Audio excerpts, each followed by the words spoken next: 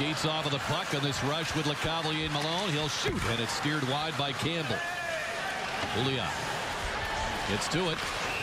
Carl playing it down. Now we've got LeCavalier dropping the gloves here, and he's going with Petrovic.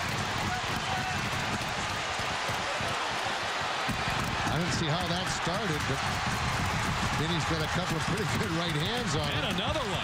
He caught him across the jaw.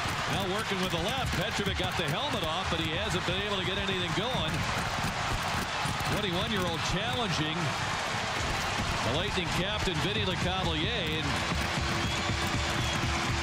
he'll make another trip to the penalty box, and he's bleeding from where that uh, shield might have come down on his nose during the scuffle. I don't think he got hit with a punch at all.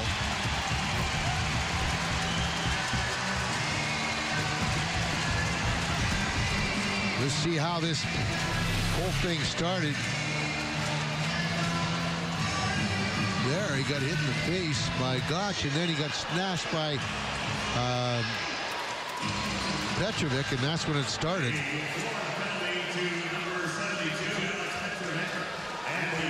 Penalty to number four, Vinny LeCavalier. Each took five minutes for fighting. The time, 15.46.